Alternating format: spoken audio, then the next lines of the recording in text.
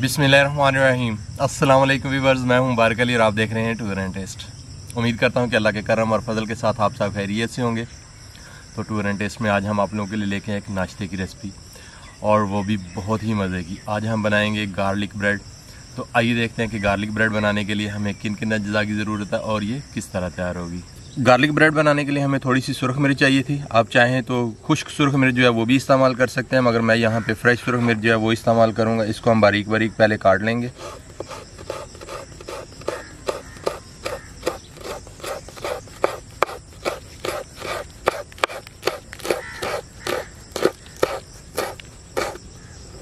मिर्च हमने काट लिया और अभी हम इसको ग्राइंड कर लेते हैं। पहले हम ग्राइंड कर लेंगे लहसुन को।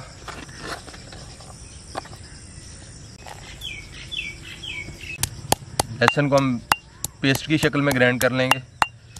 जितना बारीक हो सके उतना, ताकि लहसुन जो है वो ब्रेड के साथ अच्छी तरह चिपक सके। लहसुन को हमने ग्राइंड कर लिया, और अभी हम इसमें डाल लेते हैं सुरख मिर्च। और लहसुन के साथ ही हम ग्राइंड कर लेंगे सुरख मिर्च को भी। आप चाहे तो लहदा लहदा भी कर सकते हैं, मगर हम इकट्ठा ही कर लेंगे। क्योंकि बाद में भी सुरख मिर्च और लहसुन को मिक्स करना है, इसलिए हम इनको इकट्ठा ही ग्राइंड कर लेते हैं, ताकि लहसुन जो है वो भी मज़ीद ग्राइंड हो जाए और सुरख मिर्च भी ग्राइंड हो जाए। सुरख मिर्च को भी हमने ग्राइंड कर लिया और इसका भी पेस्ट बन गया लहसन और सुरख मिर्च का पेस्ट जो है वो बहुत ही ज़बरदस्त कलर आया इस पर थोड़ा सा हम इसमें इस्तेमाल करेंगे धनिया, सब्ज़ धनिया सब्ज़ धनिया को काट लेते हैं।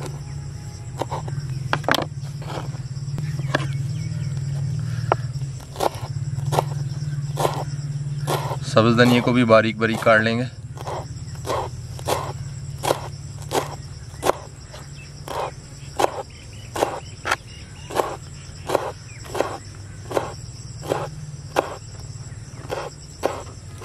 और अभी हम ब्रेड के ऊपर लगाने के लिए अमेज़ा जो है वो तैयार करते हैं। सबसे पहले हम रकाबी में डाल लेंगे मक्खन और साथ ही हम इसमें डाल लेंगे सुरख मिर्च और लहसुन का पेस्ट। थोड़ा सा ज़ीरा शामिल कर लेंगे। और थोड़ी सी कलौजी। कटा हुआ सब्ज़ धनिया। और अभी इन तमाम चीज़ों को अच्छी तरह मिक्स करके इनका अमेज़ा तैयार कर लेंगे। नमक हम इसमें नहीं डाल रहे, अगर आप चाहें तो हसबे ज़ायका डाल सकते हैं, मगर मक्खन में थोड़ा नमक होता है, इसलिए हम इसमें नमक नहीं डाल रहे।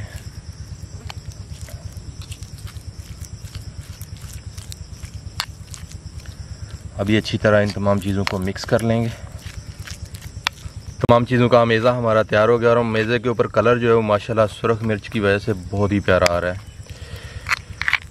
अमेज़ा हमारा तैयार हो गया और अभी हम इसको लगाते हैं ब्रेड के ऊपर। ब्रेड स्लाइस लेंगे और ब्रेड स्लाइस के ऊपर लगाएँगे अमेज़ा। अमेज़े को अच्छी तरह स्लाइस के ऊपर फैला देंगे। स्लाइस के ऊपर अमेज़े का कलर जो है वो माशाल्लाह बहुत ही प्यारा आ रहा है। फ्रेश सुरख मिर्च जो है वो अपना कलर छोड़ती है और ये कलर जो है बहुत ही प्यारा नज़र आता है देखने में।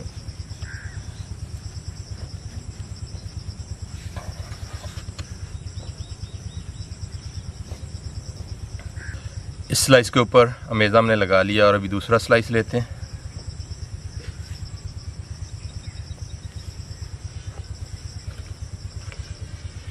अभी इसके ऊपर लगा लेते हैं। और इसी तरह जितने स्लाइस हमने तैयार करने हैं, उनके ऊपर अमेज़ा लगा लेंगे। तमाम अमेज़ा जो है वो हमने ब्रेड स्लाइस पे लगा लिया और अभी हम इनको फ्राई कर लेते हैं। आग हमने जला लिया और अभी पैन को रखते हैं चूल्हे पे। गार्लिक ब्रेड बनाने के लिए पैन जो है उसको ज़्यादा गर्म नहीं करेंगे। जब हल्का सा गर्म हो जाए तो इसके ऊपर स्लाइस जो है वो रख देंगे। और आँच जो है वो भी नीचे हल्की रखेंगे। अगर तेज़ करेंगे तो फ़ौर से ये जल जाएँगे और जल गए तो फिर जायका जो है वो ख़त्म हो जाएगा। इसलिए हल्का सा जब गर्म हो जाए तो स्लाइस ऊपर रख देंगे। पैन गर्म हो गया और अभी हम इसमें रखते हैं स्लाइस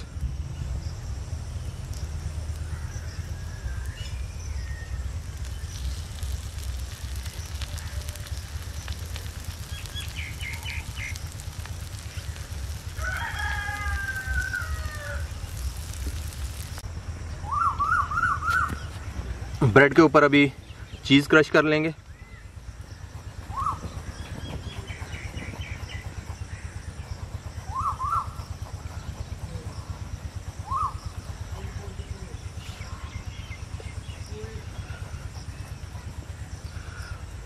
और चीज़ जो है वो आप अपनी मर्ज़ी के मुताबिक जितनी चाहे इसके ऊपर डाल सकते हैं। घर में हर अफराद की चॉइस जो है वो मुख्तलिफ़ होती है, कुछ बच्चे जो है वो चीज़ ज़्यादा पसंद करते हैं, कुछ कम पसंद करते हैं, आप चाहें तो ज़्यादा डाल लें, चाहे तो कम डाल लें, ये आपकी चाहत पे है। चीज़ डालने के बाद चीज़ को स्लाइस के ऊपर फैला लेंगे।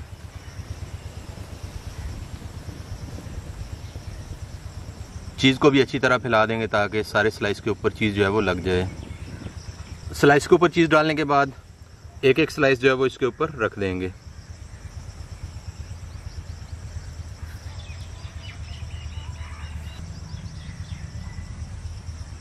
और अभी हम स्लाइस की साइड चेंज करते हैं। माशाल्लाह, बहुत ही प्यारा कलर आया इन पे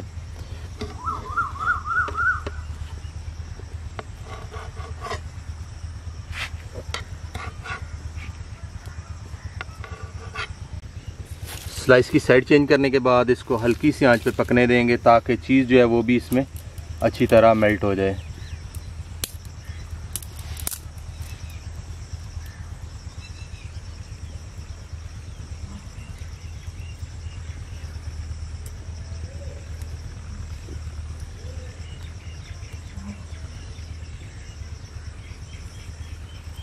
दोबारा से स्लाइस की साइड जो है वो चेंज करते हैं। तो माशाल्लाह, बहुत ही ज़बरदस्त पक गया। इसी तरह दूसरी साइड से भी अभी हम इनको पका लेंगे।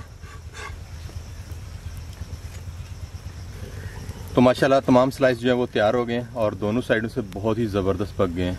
और अभी हम इनको पैन में से निकाल लेते हैं और डिश में रख लेते हैं।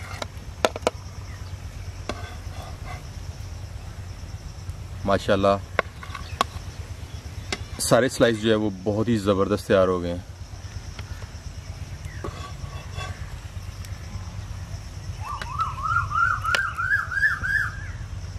और इसी तरह सारे स्लाइस जो है वो हम तैयार कर लेंगे।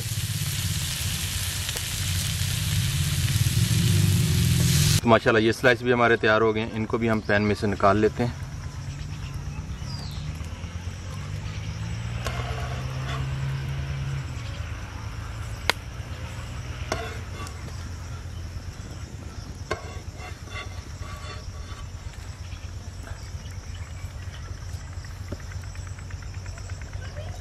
तो माशाल्लाह ये हमारी गार्लिक चीज़ ब्रेड के तमाम स्लाइस जो है वो तैयार हो गए हैं। आप इस रेसिपी को घर में ज़रूर ट्राई कीजिएगा और हमें कमेंट करके ज़रूर बताइएगा कि आपसे ये रेसिपी कैसी तैयार हुई। तो ब्रेड के स्लाइस जो है वो हमारे माशाल्लाह बहुत ही ज़बरदस्त तैयार हुए हैं और चीज़ जो है वो भी इसमें अच्छी तरह मेल्ट हो गई है।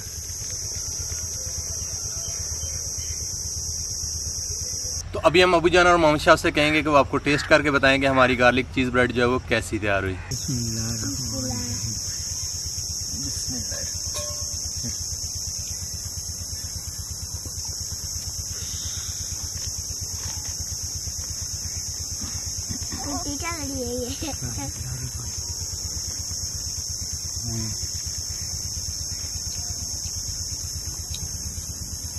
बिस्मिल्लाह बिस्मिल्लाह बिस्मिल्लाह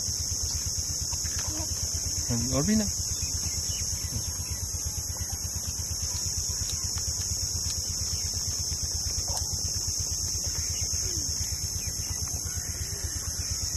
तो आज गार्लिक चीज़ ब्रेड जो है वो भजिया फातिमा भी आपको टेस्ट करके बताएगी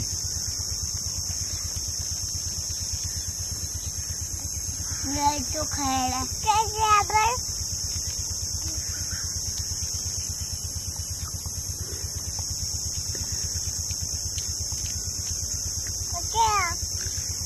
मज़े की है? मज़े की है? ये फातिमा? गुस्सा देख रही है भाई भी खा रहा है। भाई को भी बहुत मज़ा आ रहा है। करिए फोबा दी नहीं है। पूछे पूछे।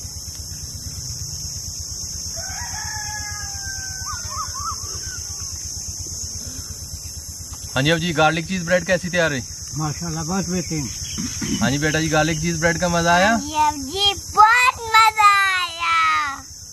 तो माशाल्लाह ये हमारी गार्लिक चीज़ ब्रेड जो है वो बहुत ही ज़बरदस्त तैयार हुई। आप इसको खा सकते हैं चाय के साथ केचप के साथ चटनी के साथ।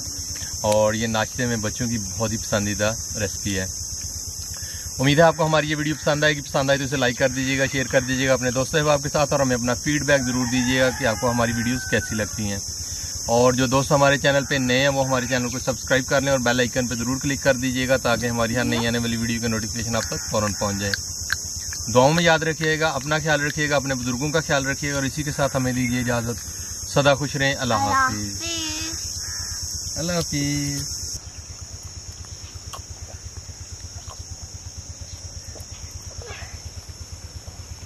हाँ जी।